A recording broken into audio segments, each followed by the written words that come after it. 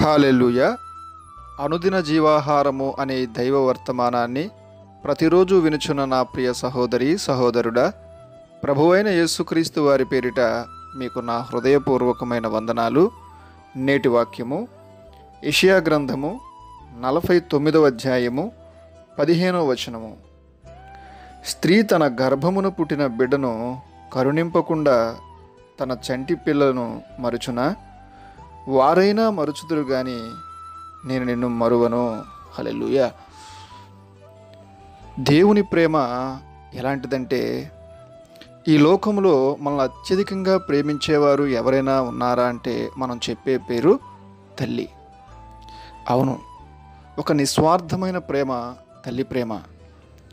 ఒకవేళ ఆ తల్లైనా నిన్ను మరుస్తుందేమో కానీ నేను నిన్ను మరువను అంటున్నాడు ప్రభువారు ఎందుకంటే మన కోసం తన ప్రాణాన్నే పెట్టినంతగా ప్రేమించినటువంటి ప్రభు ఆ యేసుక్రీస్తు ప్రభువారు మాత్రమే. ఈ లోకంలో తల్లి ప్రే- ప్రేమైన ఒకవేళ మర్చిపోవచ్చేమో లేదా కల్తీ అవ్వచ్చేమో.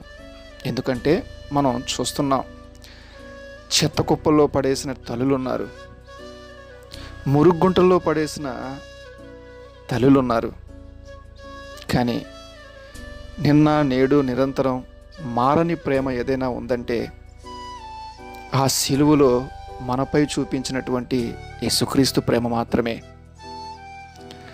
అలాంటి ప్రేమ కలిగినటువంటి తల్లి కథను ఒకటి చూద్దాం. ఆండీస్ పర్వత ప్రాంతాల్లో రెండు తెగలు నివసించేవారు. ఒక తెగ ఏమో కొండపైన నివసించేవారు. మరొక తెగ కొండ కింద భాగములో నివసించేవారు. ఒకరోజు యుద్ధములో కొండపైన ఉన్నటువంటి వారు కొండ కింద ఉన్నటువంటి వారిని జయించే జయించి కుటుంబంలో ఒక చిన్న శిశువుని కిడ్నాప్ చేసుకొని ఆ శిశువుని తీసుకొని వారు పైకి వెళ్ళిపోతారు. పర్వతం కింద నివసించే ప్రజలకు కొండ ఎలా ఎక్కాలో తెలియదు కానీ తమ తెగలోని ఒక శిశువుని పైన ఉండేవారు ఎత్తుకొని పోయినందువల్ల వారు వెంటాడి ఆ శిశు శిశువును తిరిగి తెచ్చుకోవాలని వారి పైకి వెళ్ళటానికి నిశ్చయించుకున్నారు.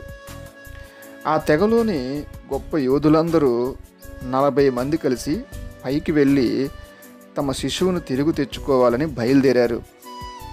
వారు కొండ ఎక్కుటకు ఒక మార్గమును అన్వేషించారు.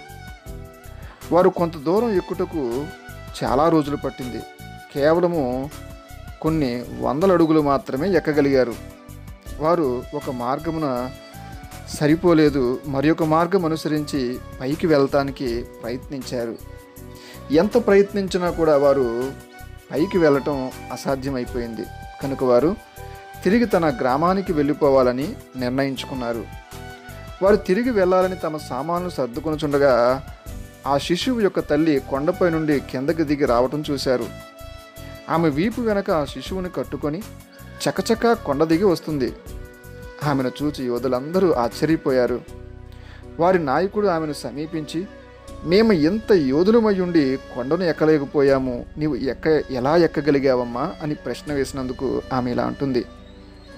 వారిపై వారి వైపు చూసి ఈ చిన్న బిడ్డ మీ బిడ్డ కాదుగా అని అంటుంది. యేసుప్రభు కూడా మనపై అటువంటి ప్రేమ కలిగి ఉన్నారు. ఆయన ప్రేమ తల్లి ప్రేమ కంటే అధికమైనది కనుక ఆయన తన ప్రాణమును మన నిమిత్తము పానార్పణముగా చేశాను. ఈరోజు అలాంటి ప్రేమను ఈరోజు మీరు నేను పొందుకున్నాం. అలాంటి యేసుక్రీస్తుని ప్రేమను పొందుకున్న మనందరం ఎంత ధన్యులు? కాబట్టి ఆ ప్రేమలో ఆనందిద్దాం. ఆ క్రీస్తు ప్రేమను పరులకు చాటిద్దాం. దేవుడు తన కృపలో తన ప్రేమలో మన మనలను ఎల్- ఎల్లప్పుడూ కూడా ఇలాగే ఆశీర్వదించి దీవించునుగాక. ఆమెన్.